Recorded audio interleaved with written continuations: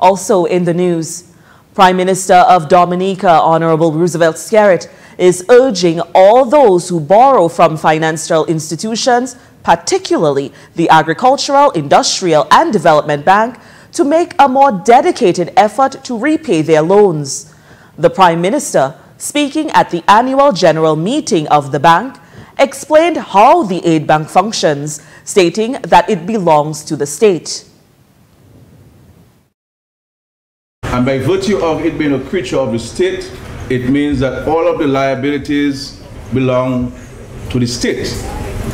So for example, the bank borrows money from international regional financial institutions.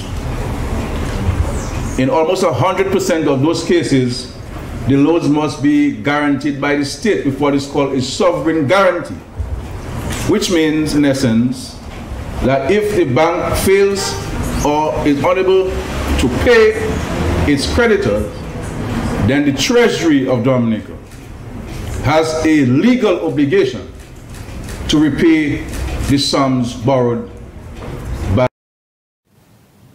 Skerrit stated that the government also provides direct financing to Aid Bank and made a direct plea to all those who have loan agreements with the bank to respect those agreements because delinquent loans affect the entire nation.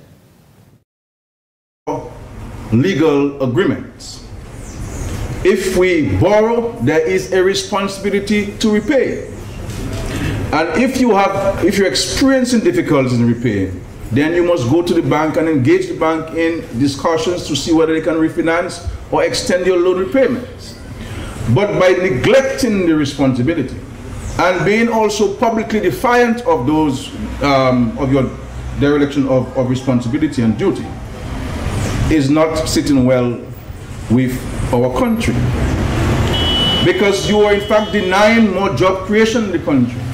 You're denying more entrepreneurs to be uh,